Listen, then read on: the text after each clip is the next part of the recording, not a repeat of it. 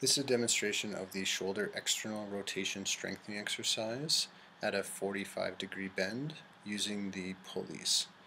So you're going to want to set the pulley up so that it's at about hip height and place some towels underneath your elbows so that there's about a 45 degree so that your shoulder's about 45 degrees away from the body or elbows 45 degrees away from the body.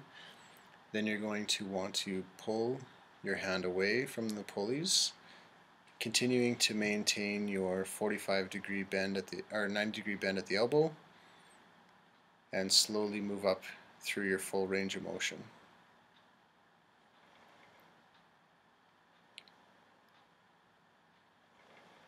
This should be completed for two sets, two to three sets of 10 repetitions.